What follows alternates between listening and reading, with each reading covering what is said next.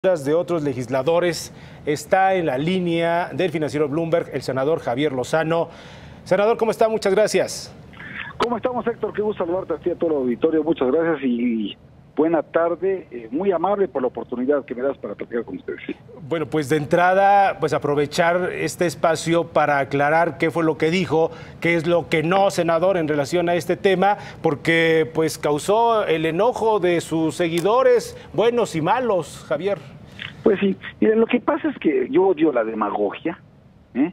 a mí me cae gordísimo que en coyunturas como esta, de pronto digan, oye, pues ¿qué les parece que le recortemos la mitad de su dieta a los legisladores y con eso ahorramos, pues no sé, unos cuantos pesos, porque además eso no resuelve el boquete en finanzas públicas, ustedes lo saben muy bien, son expertos en la materia. ¿eh? Y por eso dije, a ver, en mi caso, ¿sí? si me dices, te recorto la mitad de tu, de tu dieta, de tu salario, este, ¿estás de acuerdo? Pues claro que no estoy de acuerdo, yo vivo de esto, hombre. A ver, yo no me dedico como otros, que con tal de tener el puesto político, en el, en, el Ejecutivo, en el gobierno, ya sea federal, estatal, municipal, en el Congreso, dicen, no me des, tome donde hay, ¿no? Yo no robo, maestro, o sea, yo, yo soy precisamente alguien, un servidor público muy responsable, que llevo 30 años en esto, que jamás me he llevado un clavo, y que sí verdaderamente vivo de esto, que tengo una familia grande y que cubro mis necesidades con mi salario, mano. Entonces, sí me parece que de pronto quienes dicen, ah, no, por mí que me recorten 50, 80% de mi salario, yo me pago los viajes internacionales, oye, ¿y de dónde sacas la lana, eh? O sea, eh, a eso me refería, porque, porque yo sí creo que debemos presentar planes serios de austeridad, de racionalidad en el gasto público, como lo que hicimos los senadores Ernesto Cordero, Roberto Gil, Mariano Gómez del Campo, Jorge Luis Lavalle y yo, que ese ahorro sí es de 344 mil millones de pesos, ¿eh? No son payasadas, o sea, no son, no son aspirinas, es un ahorro real que además se destinaría a pagar deuda pública, con lo cual bajas tipo de cambio. Y entonces sí, por ejemplo, el precio de la gasolina pues sería otra historia. Entonces, un poco, Héctor, lo que yo quiero decir, fue muy desafortunado, digamos, la manera en la que lo dije, la manera que se me interpretó, pues este, lo lamento, pero, pero sí quiero ser muy sincero, muchos de nosotros no tenemos negocios alternos, muchos de nosotros jamás hemos usado una posición pública para enriquecernos.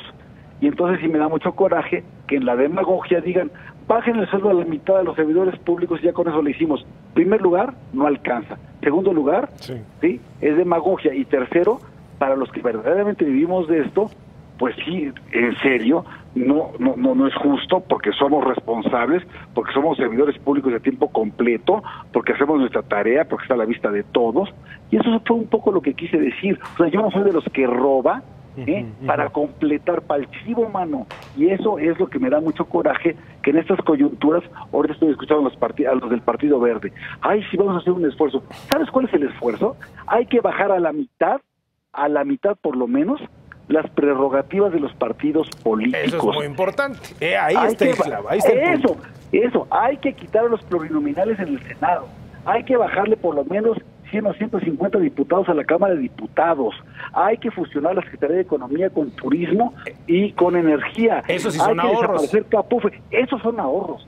Y eso sí nos da una lana para, para pagar deuda externa y entonces sí con ello el tipo de cambio, bueno, ustedes son especialistas, automáticamente, y ahora Dios quiera que una vez que llegue Trump a la presidencia y se comiencen ¿no? a desvelar un poco estas incertidumbres que, que, todavía tenemos sobre lo que va a ocurrir en la relación bilateral, pues todo eso nos ayuda a paliar lo que estamos viviendo.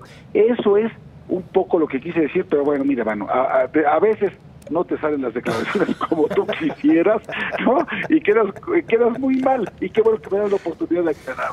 Queríamos precisamente abrir los micrófonos para escucharlo, eh, senador. Ahora, eh, esto que acaba de mencionar, que aquí también lo hemos informado eh, para encontrar estos caminos para poder entender los ahorros y de ahí que no nos vaya a terminar en este año, ¿por qué cuesta tanto trabajo entrarle a esto, a recortarle los dineros a los partidos, por ejemplo? Javier? Porque son los propios partidos los que tienen que votar. A ver, ¿por qué no queremos bajar los plurinominales? ¿Por qué no queremos reducir el Congreso? ¿Por qué no queremos reducir las prerrogativas de los partidos políticos? Sí. ¿Por qué? ¿Por qué no queremos esto eh, acabar con eliminar ciertas secretarías de Estado y fusionarlas en una sola? ¿Por qué?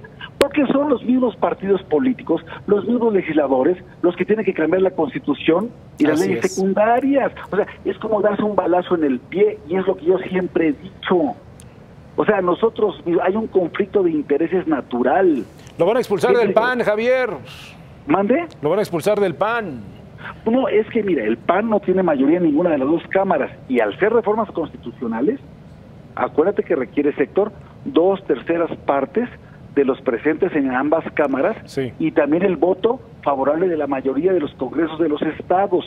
Entonces, para acabar pronto, en pocas palabras, Sí. si el PRI no está dispuesto a este tipo de recortes, no hay poder humano que alcance para hacer reformas constitucionales ta- este y, y por lo tanto, pues todo esto queda en buenas intenciones. Es muy perverso. ¿Qué es lo que yo propongo? ¿Qué es lo que yo planteo políticamente? ¿Sí? Nuestro planteamiento ahí está y se va a ir a un cajón porque sabemos que no nos lo van a aprobar. Pero bueno, ¿qué planteo?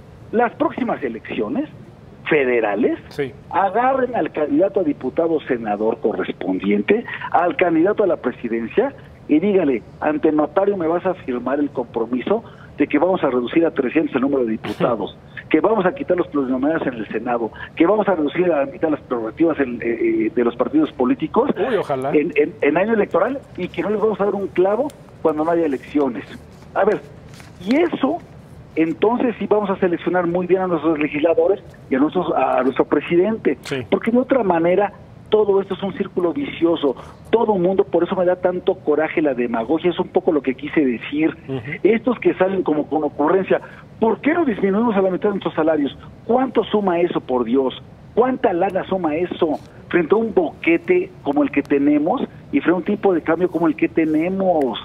¿Sí? Entonces, por eso es un poco mi desesperación de ver este tanta ocurrencia Sí, de en medio de coyuntura todo esto, claro.